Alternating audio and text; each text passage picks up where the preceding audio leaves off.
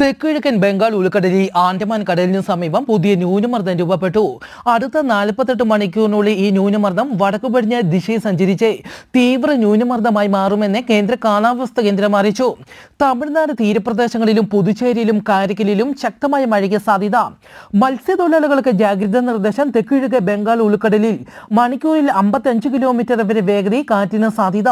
നാളെ മധ്യപടിഞ്ഞാറ് ബംഗാൾ ഉൾക്കടലിന്റെ മധ്യഭാഗങ്ങളിൽ മണിക്കൂറിൽ അറുപത്തി അഞ്ച് കിലോമീറ്റർ വരെ വേഗതയിൽ കാറ്റിന് സാധ്യത. മേൽപ്പറഞ്ഞ പറഞ്ഞ സ്ഥലങ്ങളിൽ മത്സ്യത്തൊഴിലാളികൾ മത്സ്യബന്ധനത്തിന് പോകരുതെന്ന് കാലാവസ്ഥ കേന്ദ്രം അറിയിച്ചു.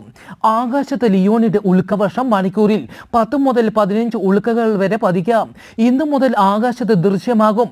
വരുന്ന ശനിയാഴ്ചയോടെ മണിക്കൂറിൽ അമ്പത് മുതൽ ഇരുന്നൂറ് ഉൾക്കകൾ വരെ ദൃശ്യമാകും. ശനിയാഴ്ച പുലർച്ചെ ഒരു മണിക്കും ഒന്ന് മുപ്പതിനും ഇടയിലായിരിക്കും ഇത് സംഭവിക്കുന്നത്.